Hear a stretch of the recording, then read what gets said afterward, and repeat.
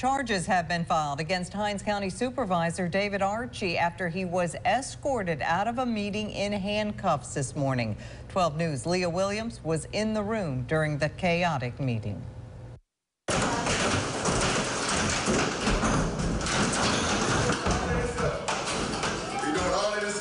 It was an intense Hinds County Board of Supervisors meeting. Supervisors started discussing the budget, and it escalated from there.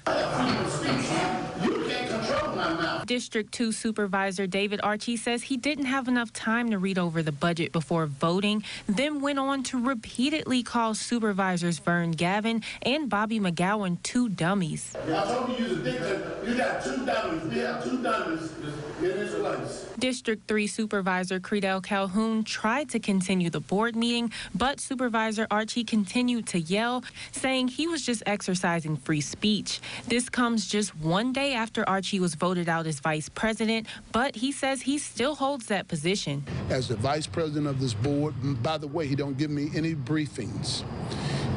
Perhaps I may have to step in tomorrow as president of the board. This supervisor have had nothing but chaos since he's been the president of this board. Archie was handcuffed and escorted out, but interim sheriff Marshand Crisler decided not to book him. He will be charged with five misdemeanors disorderly conduct, disturbing the peace, preventing the people's business from being conducted, destruction of county public property, and resisting arrest. It's not personal. The law, the law doesn't have a personal aspect to it. What the law does say is, is that no person is above the law. If any citizen goes in there and do that same thing, guess what? They're gonna be they're going to be arrested. I did not break any laws. Um, he instructed the sheriff to place me under arrest because I said two dummies. They want to say that I resist. I didn't resist. I was bracing myself so I don't get hurt. Archie called the arrest a setup to try to silence him, but Supervisor Calhoun says he just wants order in the meetings. I don't have any problem. All they have to do is come here and be in order. That's, that's his job.